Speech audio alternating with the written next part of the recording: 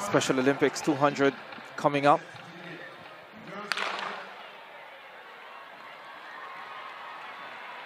We saw the males compete in the 100 meters. And now the females over 200 meters.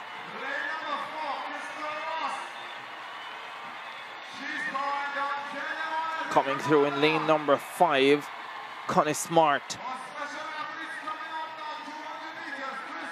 On in four, Crystal Ross.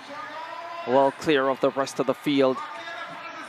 Just being able to come out here and compete a victory for these young athletes in front of a wonderful crowd at the Kirani James Athletic Stadium. They get to parade their skills, show exactly what they are made of.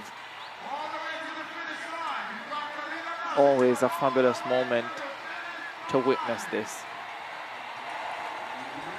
Truly sport a celebration of the perseverance of the human spirit.